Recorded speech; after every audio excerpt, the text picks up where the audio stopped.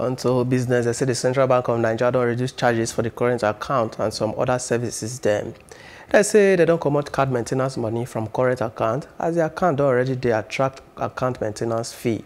The CBN confirmed the charges say make depositors know about the account with their lenders for the revised guide to charge when we say banks and other financial and non-bank financial joint body they do.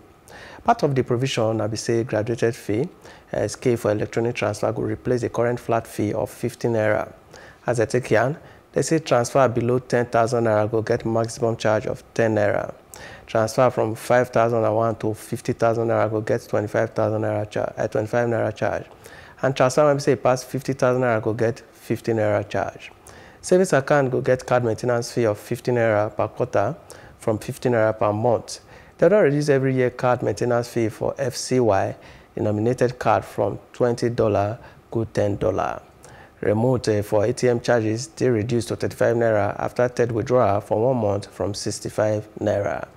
The Oga Corporate Communications, CBN, Isaac Okorafor, he said the guide will make stakeholders do something, especially for those who say that they uh, make micropayments to put body for electronic banking channels. The Minister of Communications and Digital Economy, Dr. Isa Pantami, he said the Lagos said the Central Bank of Nigeria carry to reduce the cost of electronic cash transaction and automated teller machine ATM card maintenance fees, it go boost the country economy.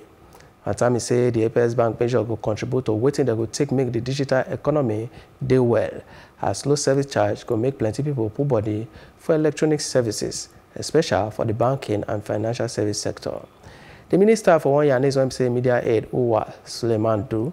He tell the joint body when say that they talk waiting they happen for the country to put policies when say go promote the digital economy policy of Oga President Muhammadu Buhari.